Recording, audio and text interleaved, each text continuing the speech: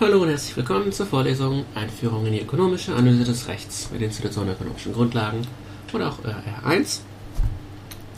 Ähm, heute gibt es relativ viel organisatorisches vorab, deswegen mache ich heute auch bewusst zwei verschiedene Videos, damit Sie das äh, erste überspringen können, äh, falls Sie in der reinen Klausurvorbereitung drin stecken. Ähm, ich möchte gerne hier an der Stelle nochmal hier den, äh, den Plan für die, das verbleibende Semester Ihnen zeigen, weil es ähm, ja, ist relativ wichtig. So, was haben wir denn hier? Äh, wie ich schon am Dienstag gesagt habe, wir sind vom Stoff her fast durch. Heute machen wir ähm, das Kurstheorem fertig, und zwar mit der Anwendung auf Umweltrecht. Äh, nächste Woche zur zweiten Sitzung, zur reinen Online-Vorlesung, machen wir das Thema Enteignungen und dann sind wir vom Inhalt der Vorlesung schon durch. Das heißt, dass wir relativ viel Puffer haben äh, zur Klausurvorbereitung, zur Wiederholung und so weiter. Und deswegen äh, haben wir auch noch genug Zeit für dieses Online-Experiment, das wir kommenden Dienstag machen werden. Dienstag und zwar nicht im Hörsaal. Ähm, sondern äh, ich werde die Vorlesung, äh, ich werde das Experiment von zu Hause aus durchführen und Sie äh, müssen, Sie können sein, wo Sie wollen, aber Sie brauchen auf jeden Fall ein internetfähiges Gerät, am besten einen richtigen Computer, also ein PC oder Laptop, entweder äh, in der Uni irgendwo Ihren Laptop mitnehmen oder in den PC-Pool setzen. Ich weiß nicht, ob die Seite, die ich, äh, die ich benutze, ob die auch Tablets äh, unterstützt. Ähm, probieren Sie es am besten einfach vorher aus. Ich werde ähm, ein Probeexperiment einrichten, das die ganze Zeit online ist und ähm, da können Sie es dann ausprobieren. Aber okay, das Wichtige, diesen äh, kommenden Dienstag äh, machen wir das Online-Experiment. Ähm, was die Beteiligung angeht, äh, ich erwarte, dass alle teilnehmen, denn alle haben per Definition Dienstag von 12 bis 13.30 Uhr auch Zeit. Ähm, und die Daten, die dabei rauskommen, ähm, die werden wir zusammen interpretieren und oder auch in der Klausur äh, interpretieren. Ne? Und äh, je aussagekräftiger die Daten sind, desto leichter ist es natürlich für Sie, potenziell in der Klausur diese zu interpretieren. Ich denke, das sollte genug Anreiz für Sie sein, an dem Experiment schon teilzunehmen. Falls das noch nicht ganz reicht, habe ich in, dem, äh, in jedem der drei Spiele noch einen kleinen monetären Anreiz eingebaut, damit sie einigermaßen rational spielen.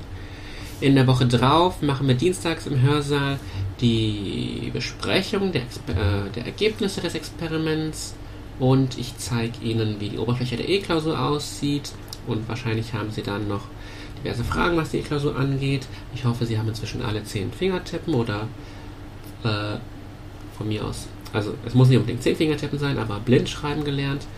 Ähm, das wird sehr hilfreich sein für die Klausur. Und ab da machen wir noch Wiederholungen. Ich habe bis jetzt drei oder vier Wünsche oder äh, ähm, drei oder vier Abgaben in, in, dem, in der Wiederholungsumfrage. Äh, können, Sie können gerne noch mehr stellen. Wir haben ausreichend Zeit, äh, Ihre Wiederholungswünsche nochmal zu besprechen in der Vorlesung. Und dann äh, jetzt zu den Experimenten an sich. Ja, Let's Play ist Let's Play ist äh, ist das Motto der Sitzung. Und zwar äh, geht es um Spieltheorie, das heißt, wir werden Spiele spielen. Ähm, warum Spieltheorie? Ich denke, das haben Sie jetzt während der Vorlesung schon gemerkt, ist ein wichtiges Analyseinstrument in der Rechtsökonomik. Wir benutzen das immer wieder, gerade das Konzept des Nash-Gleichgewichts äh, ist sehr wichtig gewesen für uns, um Vorhersagen über Verhalten zu treffen. Und ähm, aber Genau. Wenn, wenn Sie äh, wenn Sie gebeten werden, das auf äh, echte Sachverhalte anzuwenden, diese Erkenntnisse, fragen Sie sich vielleicht manchmal, verhalten sich Menschen denn wirklich so rational, wie wir es in diesen Modellen annehmen? Und das kann man eben äh, überprüfen über äh, experimentelle Forschung, nicht wahr? Ähm, und typischerweise geht man äh, so vor, dass man ein Computerlabor hat, ein, ein, einen großen PC-Pool und da ähm, die Testsubjekte, typischerweise Studenten, ähm, am Computer Experimente spielen und dann äh, entsprechende monetäre Anreize haben. Und ein paar dieser Spiele werden wir uns kommenden Dienstag anschauen. Und dazu will ich Ihnen vorab ein paar Infos geben, damit der Ablauf am Dienstag äh, möglichst äh, glatt läuft. Ähm, der monetäre Anreiz, den ich in jedem Spiel anbaue, ist, einbaue, ist, dass am Ende des Spiels eine zufällige Person ausgelost wird, die einen prozentualen Anteil ihrer in diesem Spiel erspielten Gewinne ausgezahlt bekommt. Was ist der Hintergrund? Äh, das können Sie ruhig wissen. Ähm, alternativ könnte ich auch einfach sagen, die Person, die äh, den höchsten Gewinn erspielt, kriegt ihren Gewinn, äh, kriegt äh, ein Prozent davon ausgezahlt. Aber das setzt natürlich äh, andere Anreize, denn wenn man, äh, wir werden äh, Spiele spielen, die über mehrere Runden wiederholt sind, und wenn sie nach fünf Runden schon merken, dass sie ziemlich wenig nur erspielt haben, dann haben sie gar keinen Anreiz mehr, die restlichen Runden äh, rational zu spielen. Aber wenn jeder die Chance hat, am Ende äh, einen Teil seines äh, erspielten Gewinns ähm, zu erhalten, dann hat man auch in den restlichen fünf Runden noch einen Anreiz, ein bisschen mehr dazu zu gewinnen. Das ist der Hintergrund. Und damit es mir leichter wird, nachher, äh, im Nachhinein zu identifizieren, äh, wer äh, gewonnen hat, würde ich Sie bitten, sich äh, bei der Seite, wenn Sie sich einloggen, Sie können da frei Ihren Namen wählen, Ihren echten Namen anzugeben. Keine Angst. Während der Experimente, während der Spiele sehe nur ich die echten Namen, ich als Admin. Äh, Sie selber sehen die Namen Ihrer Mitspieler sowieso nie. Es ist immer komplett anonym. Ne? Aber wie gesagt, das macht es mir einfacher, die Gewinner zu identifizieren. Ähm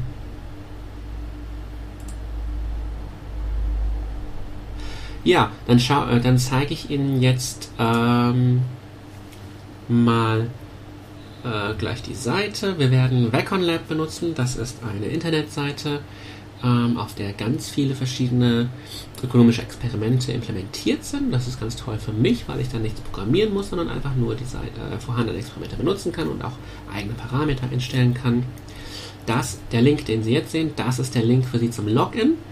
Ähm, und zwar auch wenn Sie während des Spiels äh, aus irgendwelchen Gründen auch immer aus dem System rausgeschmissen werden, dann können Sie Ihren Login den sich äh, wieder benutzen, um sich da einzuloggen. Okay, das ist kein Problem, wenn Sie mal rausfliegen oder wenn Ah, wenn Ihr Laptop zum Beispiel, äh, wenn Sie keinen Akku mehr haben und der Laptop fährt runter, was auch immer. Ne? Also, ähm, das, äh, da können Sie sich wieder einloggen. Ich zeige Ihnen das mal, wie die Seite ähm, aussieht. So sieht das aus. Äh, so ist die äh, Login-Seite. Sie haben hier oben einen Button, das ist äh, der reguläre Login-Button, äh, wenn Sie sich in ein Spiel einloggen. Und das hier unten ist der sogenannte Emergency Restart-Button, wenn Sie aus dem Experiment rausgeflogen sind und sich wieder einloggen möchten. Ne? Also ist schön übersichtlich. Sie merken, es ist alles auf Englisch. Das ist äh, für uns natürlich der große potenzielle Nachteil. Deswegen ähm, habe ich Ihnen jetzt die äh, Anleitung zu den Spielen, die wir spielen werden, auch alle auf Deutsch aufbereitet auf den Folien, damit es da keine Verwirrungen gibt. Ähm, ja, klar, das ist von einem äh, US-amerikanischen Ökonomen. Und natürlich hat er keinen Anreiz, die Seite auf Deutsch einzurichten. Ähm, ist trotzdem toll. Und ich zeige Ihnen jetzt mal, wie das aussieht, wenn wir hier ein Login haben. Äh, Sie brauchen einen Session Name, also das ist äh, der Name, unter dem ich das Spiel anlegen werde. Ähm, und den äh, den gebe ich Ihnen dann rechtzeitig. Äh,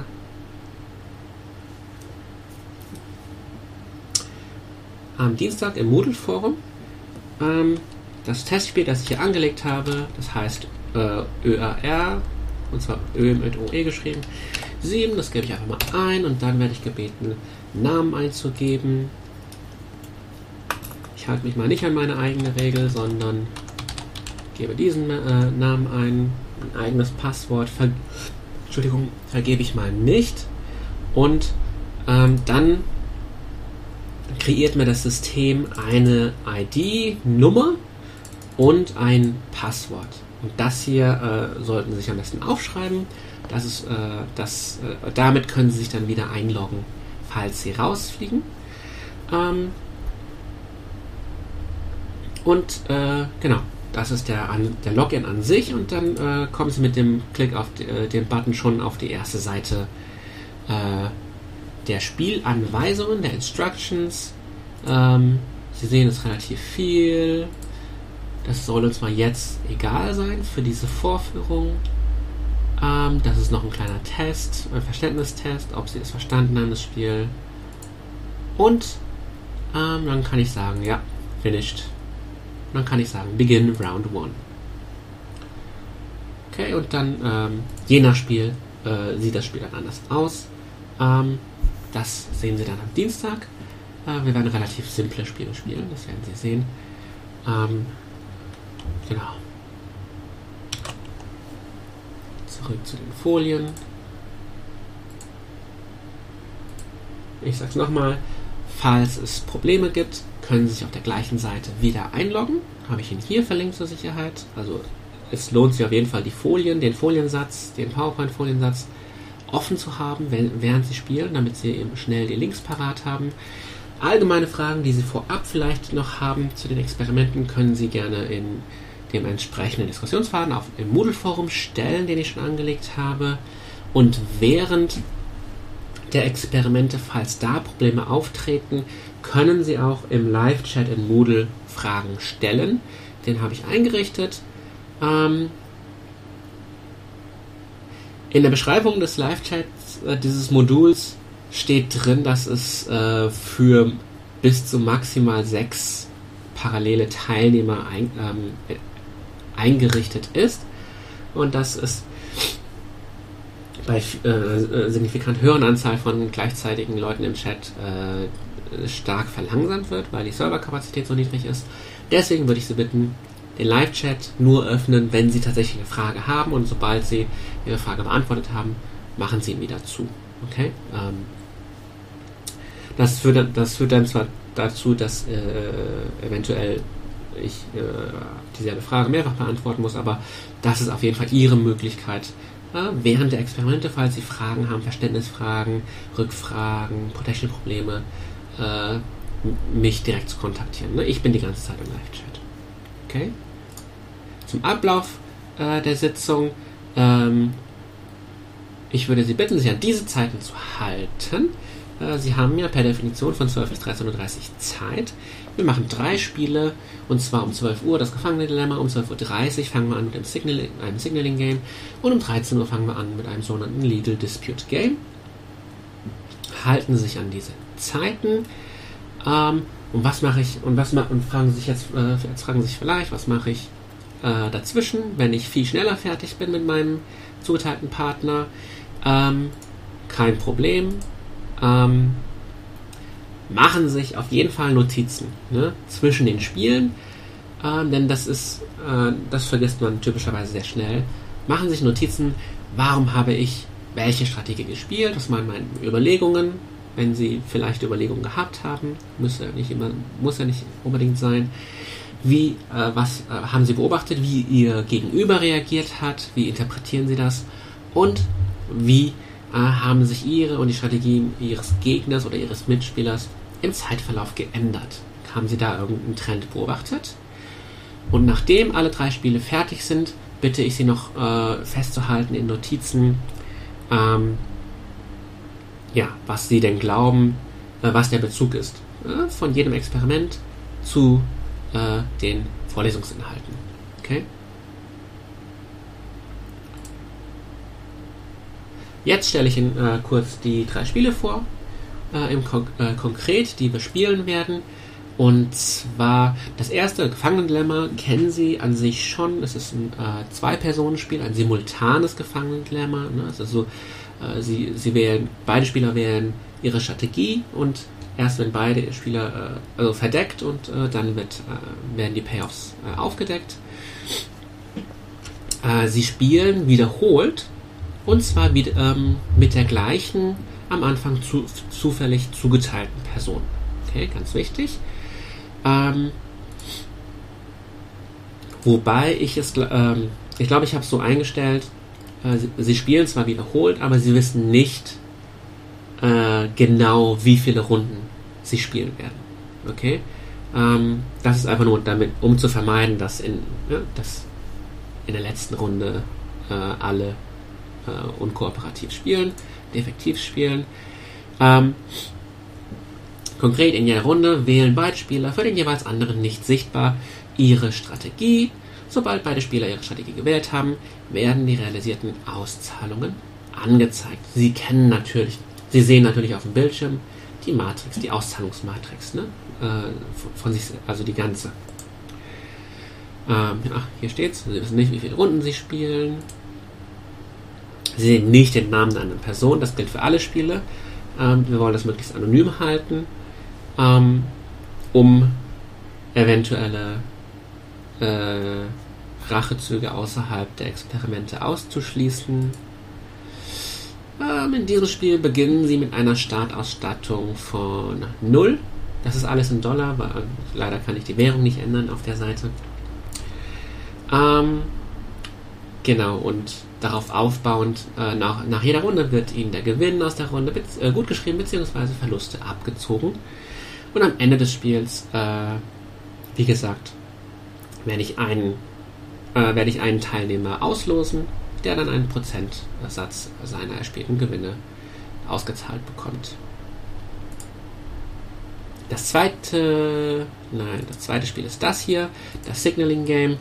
Und zwar handelt es sich hierbei um ein sequenzielles Zwei-Personen-Spiel. Sie merken den Unterschied, es ist jetzt ein sequenzielles Spiel, das heißt, einer spielt zuerst und dann der andere. Und dann gibt es die Payoffs. Äh, wieder gilt, das Spiel wiederholt und zwar wieder mit einer zufällig zugeteilten Person, eine andere Person als im Gefangenendilemma, ähm, aber dann wieder äh, für den Rest des Spiels mit der gleichen Person. Ähm, wie läuft das Spiel ab?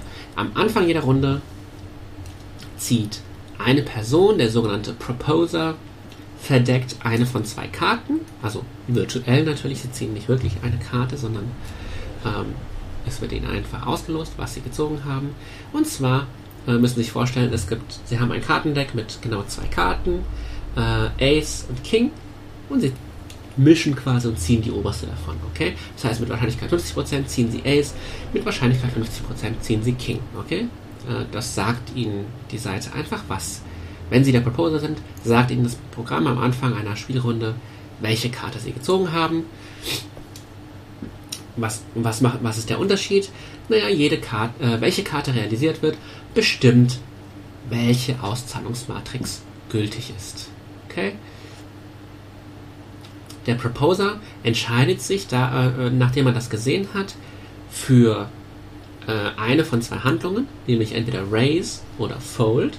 Okay, vielleicht kennen Sie die Begriffe aus dem Poker. Raise heißt, ähm, man spielt weiter, Fold heißt, man, man hört auf. Und der andere Spieler, der sogenannte Responder, sieht diese Entscheidung, aber noch nicht die Karte, die gezogen wurde. Das ist ganz wichtig. Der Proposer zieht verdeckt die Karte.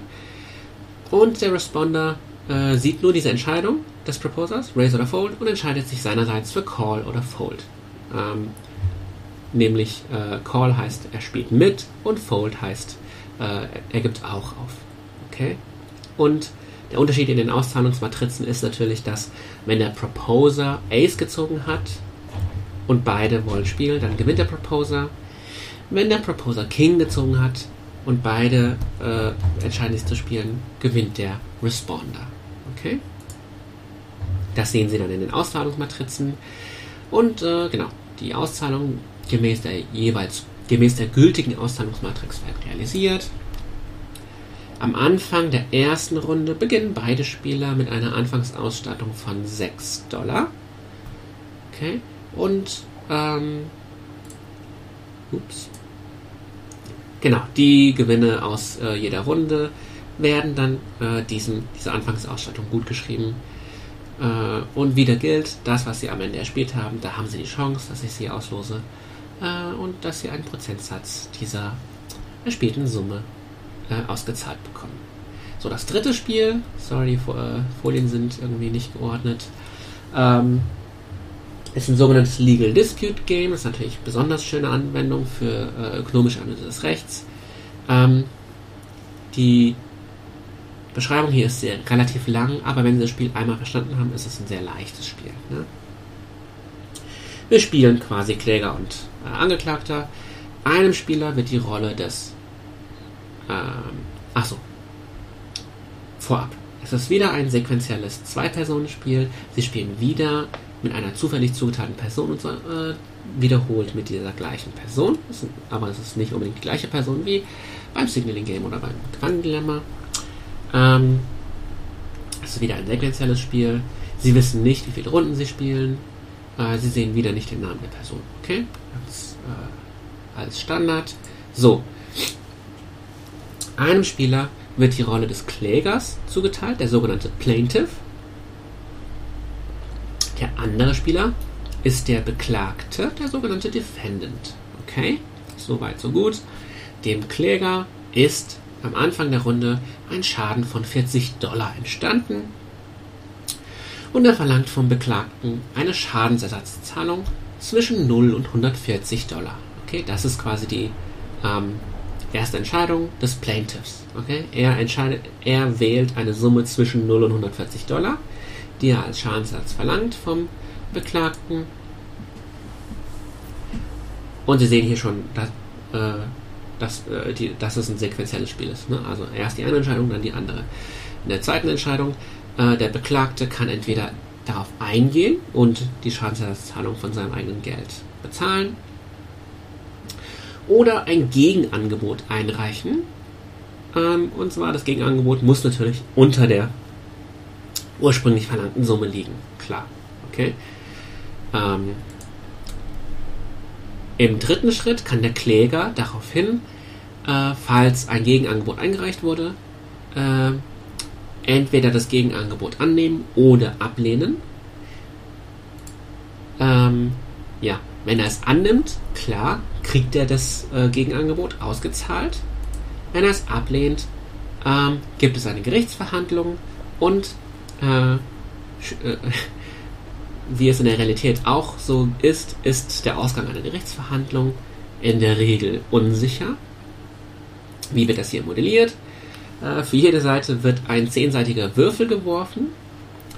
Ähm, und wenn das Würfelergebnis des Klägers strikt größer ist als das des Beklagten, gewinnt er. Okay, das heißt, wenn der Kläger eine 3 würfelt und der Beklagte eine 2, gewinnt der Kläger und erhält die ursprünglich verlangte Schadensersatzzahlung, ne, die aus der ähm, ersten Stufe hier. Wenn das Würfelergebnis des Klägers aber nicht strikt größer ist, also kleiner oder gleich äh, dem Würfelergebnis des Beklagten, dann muss der Beklagte gar nichts zahlen und der Kläger bleibt auf seinem Schaden von 40 Dollar sitzen. Okay? Das ist natürlich mit Kosten. Die, die, ähm, achso, ganz wichtig. Hier ist noch ähm, quasi so eine kleine Informationssache äh, eingebaut, nämlich der Beklagte kennt seine Gewinnchance vor Gericht schon bevor er auf die erste Schadensersatzzahlung reagiert. Ne? Also, ähm, wir nehmen an, der Beklagte weiß hier an dieser Stelle, bevor er, bevor er schon sein Gegenangebot einreicht, weiß er schon, wie genau, weiß er schon, wie seine Chance vor Gericht sein wird. das sieht dann so aus, dass er schon sein Würfelergebnis weiß. Okay? Äh, wa warum macht das Sinn, das anzunehmen? Naja, der Beklagte, wenn er äh, an einem Schaden beteiligt war, weiß der Beklagte ja selber, ähm, wie fahrlässig er war. Und deswegen nehmen wir an, kann er seine Chancen vor Gericht besser einschätzen. Okay, das ist das, was dahinter äh, steckt. Das heißt, an dieser Stelle hier wird der Spieler, der, der, ähm, der die Rolle des Beklagten hat, des Defendants, schon sein Würfelergebnis wissen ähm, und weiß dann eben auch schon die Wahrscheinlichkeit, dass er gewinnen wird. Ne? Wenn hier an dieser Stelle äh, der Beklagte schon eine 2 gewürfelt hat, heißt das ja, dass ähm, dass der, dass der Kläger entweder eine 3, 4, 5, 6, 7, 8, 9 oder 10 würfeln muss, um zu gewinnen. Das heißt, der Kläger hat eine 80-prozentige Chance, ähm, vor Gericht zu gewinnen, wenn, es, wenn der Fall vor Gericht geht. Okay? Das ist die Informations... Äh, äh, ja, Asymmetrie würde ich nicht gleich nehmen. Äh, das ist die Informationseinschränkung, die hier eingebaut ist. Dann nehmen wir noch an, es gibt Gerichtskosten von 20 Dollar und zwar müssen die von der Seite getragen werden, die das Gerichtsverfahren verliert. Okay, das kann man auch unterschiedlich regeln. ähm, aber hier ähm, würde ich es äh, in Anlehnung an das deutsche Recht machen. Ähm, man kann es auch so spielen, dass immer der Kläger bezahlt, ähm, aber ich würde es so machen. Und unabhängig von den Ergebnissen in jeder Runde erhält jeder Spieler pro Runde eine fixe Zahlung. Ähm, und zwar 60 für den Kläger und äh, 20 für den Beklagten. Warum ist das unterschiedlich? Naja, dem Kläger entsteht ja immer der Schaden von 40. Ähm, und deswegen kriegt er auch ein höheres Taschengeld oder einen höheren Lohn. Ne? Und der Beklagte, wenn dem, dem entsteht ja ähm, nicht standardmäßig ein Schaden. Ne? Deswegen kommt er mit einer kleineren Taschengeldzahlung aus. Okay? Und wieder, äh, wieder äh, wird es so sein, dass am Ende des Spiels ein, ein Spieler zufällig ausgelost wird, der einen Prozentsatz seiner erspielten Gewinne in, dieser, in diesem Spiel ausgezahlt bekommt. Okay? Das waren die drei Spiele. Jetzt gehen wir über zur Vorlesung im nächsten Video.